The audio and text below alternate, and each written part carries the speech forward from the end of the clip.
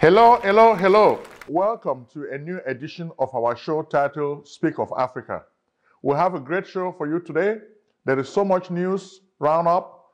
Before we begin, we want to say thank you to our subscribers and our viewers on social media. Without you, we will have no show. When we started this show, we did not have any viewers, we did not have any subscribers.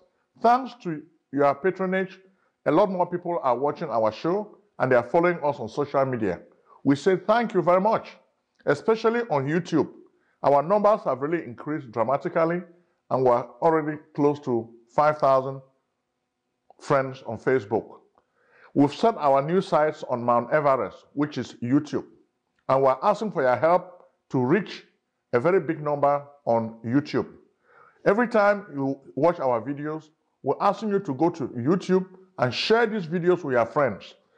Discuss the content of these videos. The purpose of these videos is to make you think about the African condition, which is what we're really doing. And we're doing more things which will make it easier for you to promote us on social media. Okay? We are trying to build our own Amazon web servers. The work is already on. In fact, we will be inaugurating the work we've done on our Amazon servers and web development on July 4th which is the date we celebrate US independence. We chose this date because this is going to be a new declaration of independence for our company. We've set our sights that we want to really help our people to become free economically, politically, and socially. We can only be free if we have what we call self reliance. We cannot be free when we are dependent on other people. And that's really the problem Africa faces today. Much of Africa is not free because it depends on foreign powers. Okay? When you depend on other people, you, you cannot really determine your own destiny. So that's the crux of the matter. So we're telling you now that we want to preach independence. We want to follow the same thing we preach. We don't like to be hypocrites.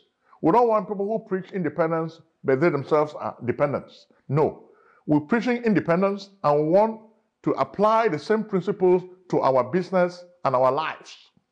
So today, we're going to focus more on May 13th. May 13th is a very important date for my country, Cameroon. As you guys know, I come from Cameroon originally. And what happens in this part of the world affects me personally. And I like to share with the world. And I ask for your help.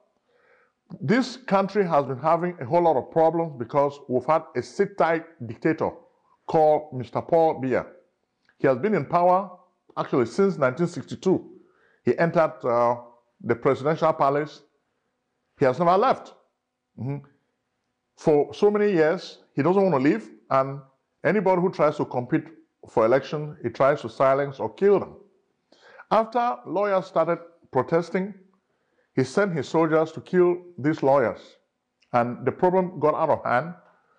Today, May 13th, the Cameroon problem has become inter internationalized. Everybody knows that there is a problem in Cameroon. We've been telling you this many, many years ago, many, many months ago, many, many days ago, but most of the Cameroonian politicians were spinning negative stories, telling you that, oh, those are all lies by protesters who want to soil the image of the country. But with the date of today, May 13th, you're going to see that there is a whole lot going on in Cameroon. The UN is receiving reports from Human Rights Watch. People are really seeing that the, the government in Cameroon is killing a lot of people in cold blood. Even the day the Prime Minister went to the Northwest Province for a peacekeeping uh, mission, the peacekeeping mission was a fiasco because even on that day, a few meters away from where the prime minister was, soldiers were killing people. What kind of peace is that? As Fela used to say, now why your peace be that? okay? If you are making peace with people, you cannot be killing them at the same time. So the prime minister has his roadshow, which already has been doomed to failure because he doesn't really have sincere intent. If you want to make peace, you have to have sincere intent. So when we see this problem in Cameroon going to the UN, it's a good move, and we think More people are going to sit and watch what is happening. So as of today, we think everybody now knows there's a problem in Cameroon that needs to be solved. And this problem basically involves two parties. You have the Anglophones and the Francophones government of Mr. Paul Biya. From what we see, everybody is saying there should be inclusive and meaningful dialogue. That's what all the actors at the UN are telling the Cameroon government and the Ambazonia people to do. They want them to make peace. They want to be a ceasefire. But how can this happen? Because already the Biya government does not even want peace. They are reluctant peacemakers. They have made things so difficult. Anytime that you have a negotiation or a peaceful negotiation, you always have the center. You have the left side and you have the right side. I would say Mr. Biya is on the left side. He stands on a position of no concessions. Then on the right side, you have the Ambazonians who want total independence. But Mr. Biya wants to maintain the status quo. He wants Cameroon to remain the way it was since or before 2016, before this crisis started. So he wants to bring Cameroonians back to that point. By contrast, the Ambazonians have already moved ahead. They really want to, to have total independence. They want their own country. After frustration with the recalcitrance of Mr. Paul Biya, they decided that, well, if the Francophones don't want us in their country, we better just have our own country and live our own lives. Okay? So whenever you have a negotiation, when you have the center, the center is really where you have compromise. Compromise is basically a situation where we give and take. That's what peaceful negotiation should be. When you make negotiations, you don't negotiate with your friends, you negotiate with your enemies. So Mr. Biya does not understand this. By calling these people terrorists, it doesn't change anything. He will be forced, just like in the case of South Africa, he will be forced to negotiate with these same people he's calling terrorists. He doesn't want to do that. He will be forced to negotiate the form of the state. Who told him to say that the form of the state is non negotiable? That is Balouni. He has to wake up and smell the coffee. The form of the state is negotiable. One individual cannot tell Cameroonians what form the state should take. He's just one person. The masses should decide the way they want their country to be organized.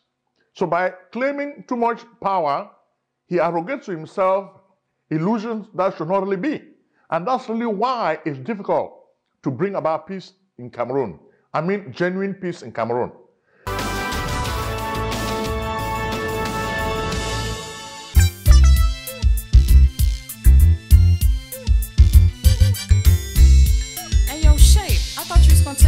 Place so I can get my taxes done. You know I'm trying to buy a new house. What's up?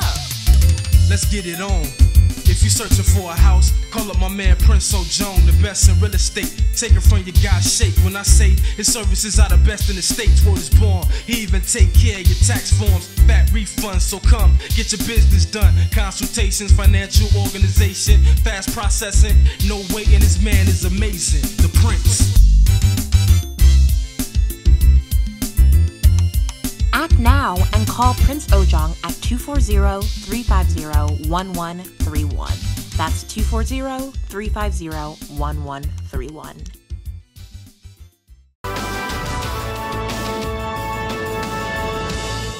I mean, genuine peace in Cameroon. What we're seeing is exactly what the Cameroonian UN ambassador, uh, Monthe, is, is doing. He's just uh, talking about the need for money by his government. This government created this problem. You cannot create a problem and you refuse to be accountable to that problem. The Cameroonian government is accountable to what is happening. So the international community should not even be giving this government money to deal with this crisis because this is a man-made problem. Cameroonians were living in peace because they were exercising their civil liberties of peaceful marches. The government sent soldiers to beat and kill them. So they created this problem.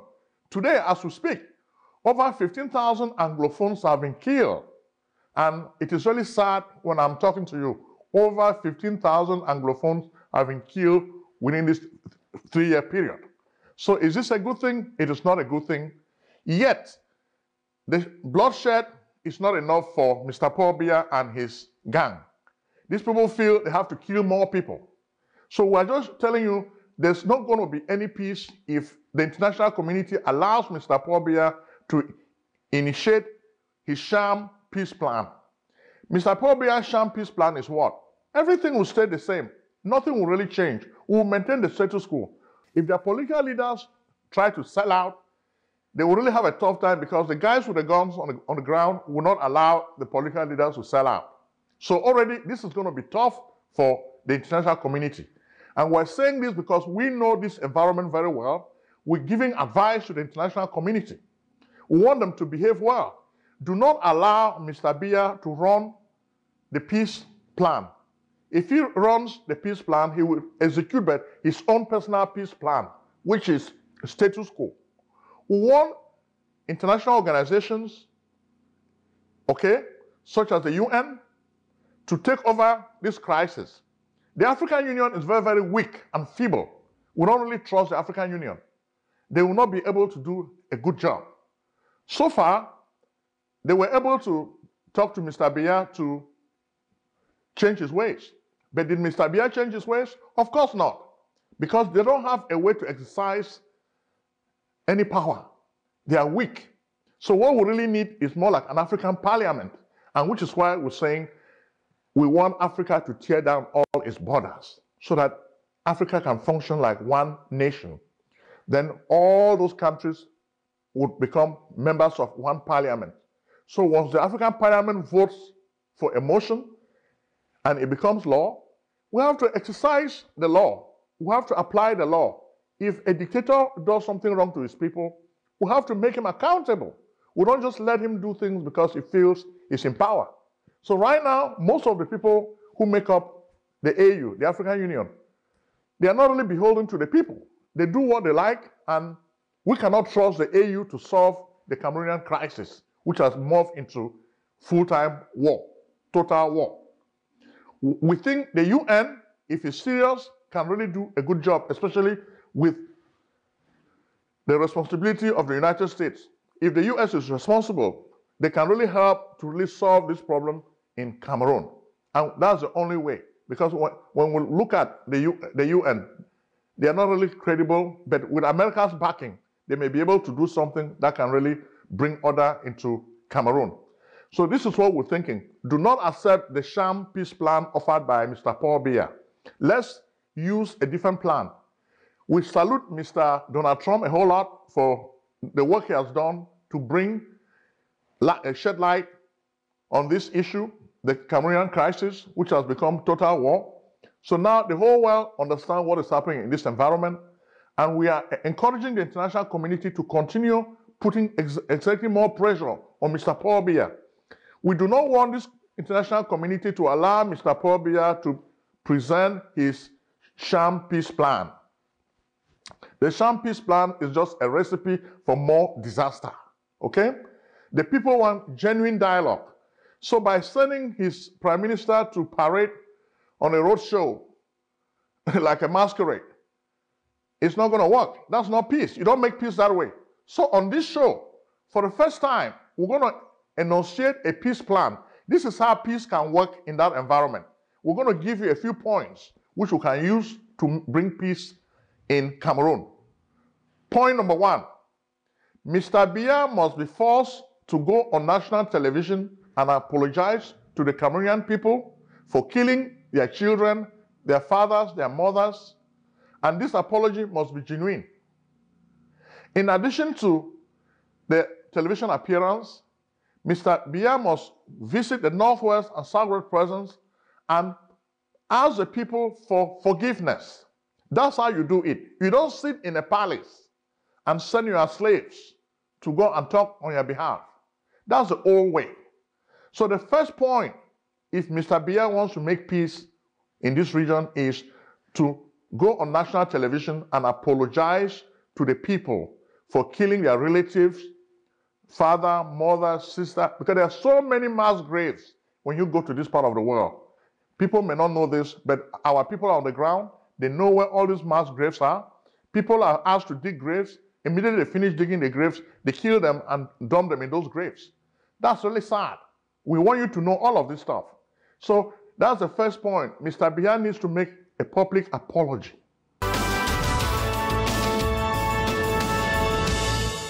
Life insurance money secrets of millionaires and billionaires exposed. Discover how America's rich and famous exploit these arcane tools to build fabulous wealth. Why should these big white guys have all the fun? Let Prince Ojong, the celebrity author of The Miraculous Millionaire, show you the little understood life insurance way to riches. Are you still doubting the good things that life insurance can do for you? Trust strategies, estate planning, 401k rollover, annuity contract, cash value, education funding, executive benefits, income protection, life protection, living benefits, mortgage protection, tax free retirement? Think and grow rich with life insurance. Your amazing journey to wealth begins by calling Prince Ojong at 240 350 1131.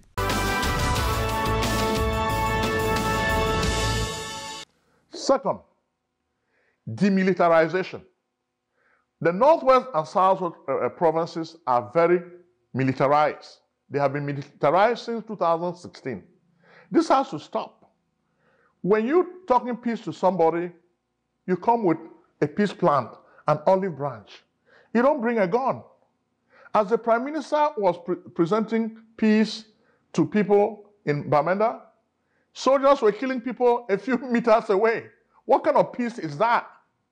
As I said before, now why your peace be that, according to Fela, you cannot make peace that way. Who are you fooling? We live in the 21st century. These people are taking us for jokers. No, we're intelligent people. The people are intelligent. Who are you fooling? You cannot be fooling them this way. You're fooling yourself. And which is why the problem would keep festering and get worse and worse. Because this government thinks they can continue to deceive people. Even when I saw the action of the ambassador on the floor on Monday, Monthe, he was trying to defend his government. But you're defending a government that should not be defended. This government is an outlaw. Eh, this is not really, a, we cannot call it a government.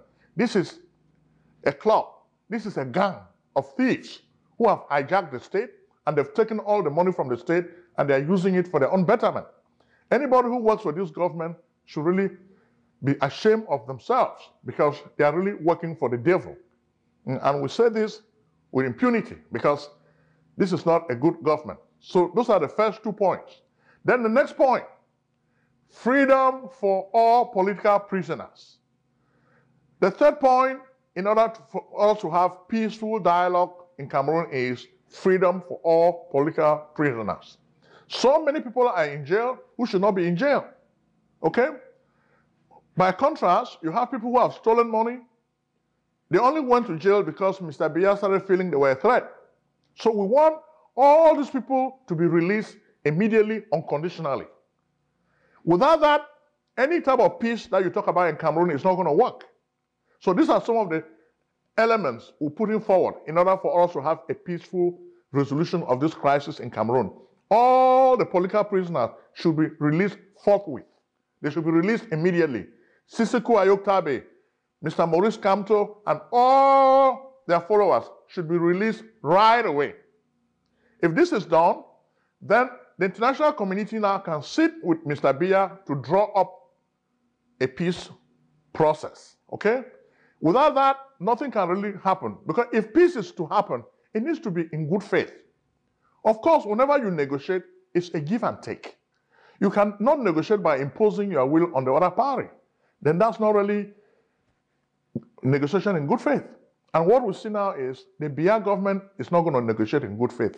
So if the international community has any illusions about this government making peace with Anglophones, then I would say they are smoking marijuana or something. I don't know. Because he's not going to make any peace because he stands where he stands with the status quo. He doesn't want to move an inch. But these people are not going to accept decentralization. They're not going to accept refederation because they've been a federation before. So they have just been disappointed with what's happening, and now they don't even want federation. And, and what Mr. Biya has in mind is cosmetic decentralization or just federation. No, people want that. People don't want that anymore. They really want total independence. So the way things are going to evolve, as we see it, if the international community makes the mistake of allowing Mr. Biya to make peace on his own, then he's just going to present the sham peace plan. So we've uh, presented what we think can really solve the problem in this part of the world. We thank you for watching this show and we're asking you to support our businesses, also to support our show. So far, we're asking you to go to YouTube, share videos that we have on YouTube. We have over 55 videos so far. We're asking you to share these videos with your friends. If you can do that, it's going to be good for all of us. And we have resources that we're bringing to you, as we say. On July 4th, we're going to announce our new business plan. And we're going to open up our business for a lot of people to participate in it because we see you as African missionaries, especially people who are watching our show. We want you to use the information from this show to empower yourself. We can tell you that God has given you unlimited power. So we want you to take advantage of this power to do things for yourself. Don't sit and feel like you are a victim of circumstance. We want you to feel like you are the son or the daughter of God. God has given you what it takes to succeed. So that's really the goal of our AWS program. We want to have the infrastructure which makes it easy. If you have a business, we'll make it easy for you to promote your business and acquire clients. Then those who just want to start new businesses, we'll be able to help them by writing up business plans. And we can write very winning business plans because we understand the American business environment very well. So if you work with us, you're always going to have a successful business. So we can be your consultant and make sure that you, you come up with a business that will do very, very well and you make a whole lot of money. That's really the purpose of business. In fact, as Max Weber defines capitalism, it's a system of private enterprise which uses the factors of production to create an unlimited amount of profit. And that's our mentality. We want you to share this Max Weber concept. That's the way we look at capitalism. So that's really what this show is about. Unlike other shows, we don't just want to share the news with you. A lot of news is breaking out, but we look at it, then we try to strategize how this news can benefit you. So we don't just want to feed you with news which is useless. No, we want you to look at the news, then make sense of, of this news that is happening. That's the purpose of this show. And we want to empower you with tools which you can use to live a better life. So our show is really something that hits home.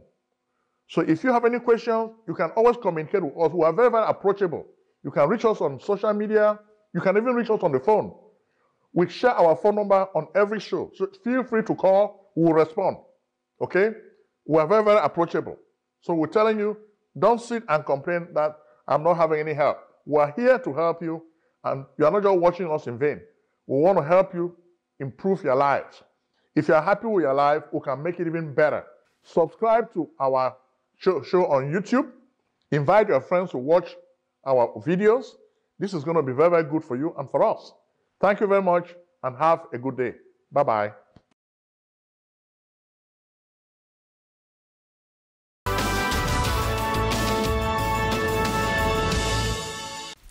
Selling a service or a product? Need buyers? Use the African Nation TV as a channel to reach many viewers. Act now and call Prince Ojong at 240 350 1131. That's 240 350 1131. Act today.